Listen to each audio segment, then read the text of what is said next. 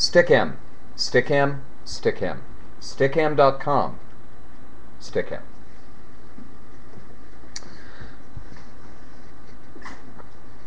There have been a couple of threads of dropped communication, which I will and do apologize for. Um, I will not excuse, nor will I really explain.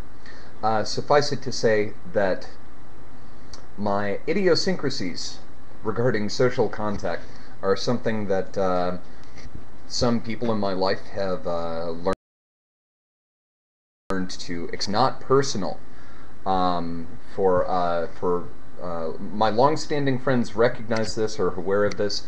Um, uh, for those who are attempting to initiate contact, please understand it is not personal. I'm just weird when it comes to contact. Um, so, rather than tell you what doesn't work, I'll tell you what will. Stickam.com. I have a profile there. You send me a message uh, or a friend request there. Uh, you mention talking on YouTube. You mention uh, video on YouTube. You mention anything that gives me any reason to believe that you are not uh, that you're not a bot um, trying to fluff friend page numbers. Um, that you're actually a real person, and I will approve the contact. So um, uh, I chat there. Basically, when I'm chatting, when I'm uh, online socially, that's where I am, and I am more than happy, more than happy uh, to meet new people um, that haven't been on Stickam before, that um, I haven't had much contact with on uh, there or elsewhere before.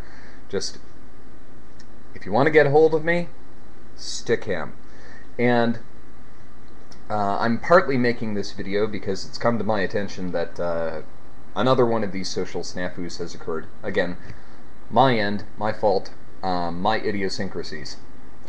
But um, also, uh, so that this will be a handy little thing to uh, just point people to when they uh, ask about this sort of thing in the future. So, Stickam. You get on there. We'll talk. It'll be great. See ya.